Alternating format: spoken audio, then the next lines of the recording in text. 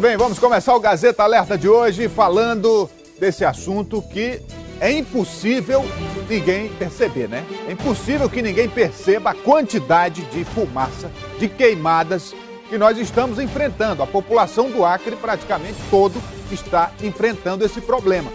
A última sexta-feira não foi nada fácil para o pessoal do Corpo de Bombeiros. Nós estamos mostrando aqui diariamente e nesse início do programa, vamos mostrar novamente a situação. Diversos focos de queimadas foram registrados na cidade. Por pouco, as chamas também não atingiram as casas do residencial Cabriúva e mais um incêndio ali na região. Vamos ver na reportagem de Senildo Melo. A gente pode ver a, a quantidade de chamas é intensa nesse local. O Corpo de Bombeiros já está aqui, ó, pode mostrar ali à frente o caminhão é, fazendo uma espécie de monitoramento. Aqui eu estou ao lado do Sargento Mendonça. Sargento, qual é o procedimento nesses casos? É nesse caso que a gente vai fazer a prevenção aqui, devido à área aqui do terreno já ter uma, uma vala aqui, fazendo a contenção. E estou aguardando aqui o, o, fogo se conter aqui na parte onde tem a contenção. Aqui. Vários focos de, de queimadas? Vários.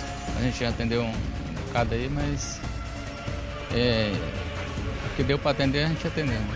Tá certo então, sargento. Há muitos moradores aqui também, ó, acompanhando. É, alguns até preocupados com a possibilidade de o fogo vir e atingir a, as residências. Dá, dá para se preocupar, né, com, com essas chamas aí? Dá mesmo. Só que não passa para cá não, né, devido a essa vala.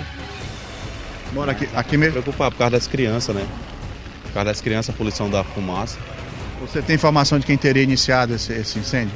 Tenho não, eu cheguei de trabalho já estava assim, tocando fogo. Desde, vem desde lá de cima esse fogo. Desde de, de, por volta de 11 horas da manhã que começou, né? Isso, diz o, o morador daqui, né? Como nós mostramos, o Corpo de Bombeiros está monitorando. As chamas, apesar do volume grande, ela não tem como passar aqui por conta dessa vala que impede a passagem do fogo. As imagens são de Michael Costa, Senildo Melo para o Gazeta Alerta.